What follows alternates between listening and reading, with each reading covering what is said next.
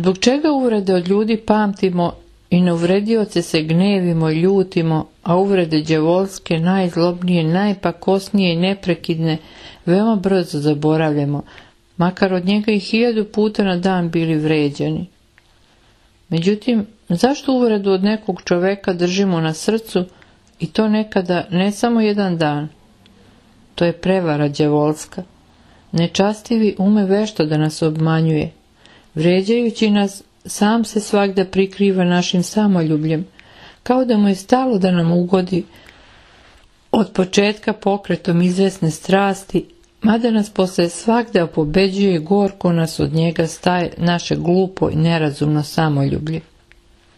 Uvrede koje nam drugi nanosi, on svakda uveličava po sto puta i predstavlja ih u lažnom vidu, popet i ovdje se prikriva našim samoljubljem, kao da revnuje za naše blagostanje, koje drugi za Boga misle da unište svojim uvredama i nepravdama. Dve sile potpuno suprotne među sobom utiču na mene. Sila dobra i sila zla, sila životna i sila smrtonosna. Kao duhovne sile one su obe nevidljive. Sila dobra zbog slobodne i iskrene moje molitve svakda progoni silu zla, a sila zla je moćna samo zlom koje se u meni sakriva. Da se ne bi trpeli neprekidni napada iz zlog duha, treba neprestano imati u srcu Isusovu molitvu. Isuse, Sine Božiji, pomiluj me. Protiv nevidljivog đavola stoji nevidljivi Bog, protiv snažnog najsnažniji. Đavo sve čini da odvrati ljude od pokajanja. Satana dva zla čini čoveku. Navodi ga na greh, a poslije ovoga zadržava ga i odvraća od pokajanja.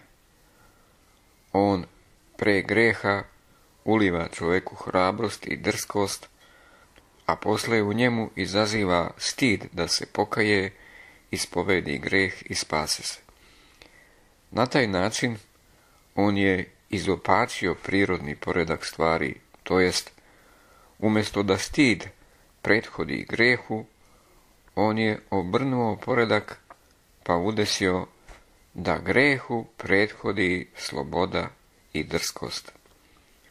Tako grešnik se ne stidi kad odlazi kod bludnice, a po učinjenom grehu on se stidi da se pokaje.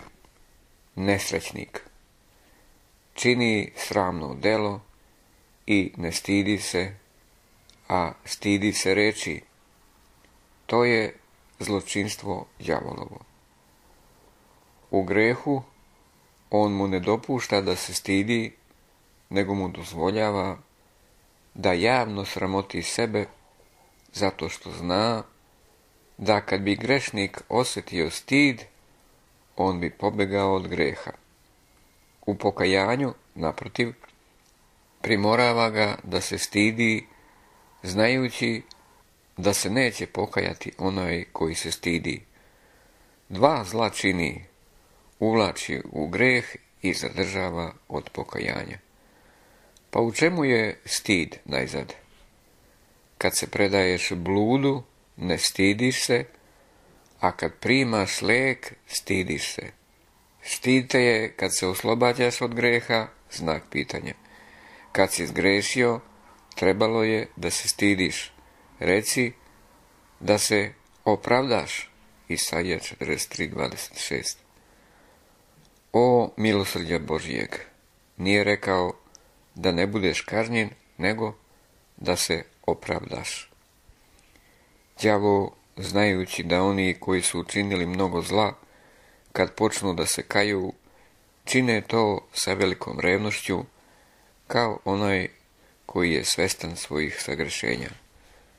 Zato đavo pazi i boji se da oni ne bi započeli pokajanje, zato što, počevši to delo, oni bivaju nezadrživi i raspaljeni pokajanjem kao ognjem, čine svoje duše čistijim od čistog zlata, poneseni savešću i sećanjem na ranije grehove, kao snažni vetrom u pristanište vrline.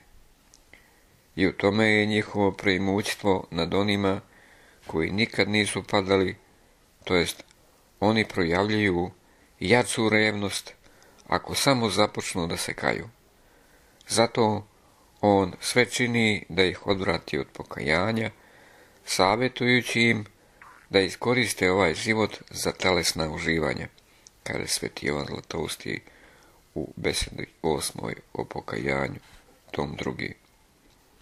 Đavo navodi čoveka prvo na jedan greh, potom na drugi i sve dalje i dalje. Vidimo kako satana navodi čovjeka prvo na jedan greh, pa onda na drugi, pa na treći i tako dalje i dalje na mnoge grehove.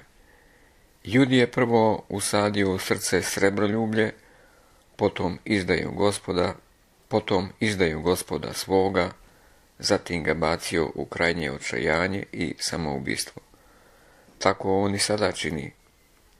Prvo uči čovjeka da živi u neradu i lenjosti, a čovjeku koji živi u lenjosti i neradu predlaže svakojake zle misli i privodi svakome zlu i grehu. Prvo čovjeku usađuje u srce srebroljublje, a zatim privodi otimačini, krađi, grabljenju, nasilju, laži, razbojništvu, ubistvu i drugim teškim zakonjima. Jer je koren svih zala srebrljublje, 1. Timotejeva 6.19. Njegovim dejstvom čovjek prvo postaje gord i nadmen, a potom prezire, osuđuje i uništava bližnjega. Hrišćanine, čuvaj se jednog greha, da ne upadneš u drugi i mnoge grehove i dospeš u dubinu zla. Juda, izdajnik, pavši u očajanje, ubio se. Uvideo je veličinu greha, ali nije upoznao veličinu milosrđa Božjeg. Hrišćanine, težak i posljednji udar djavolski jeste očajanje kaže sveti Tihon Zadonski u duhovnom blagu. On je svršio delo svoje i otišao.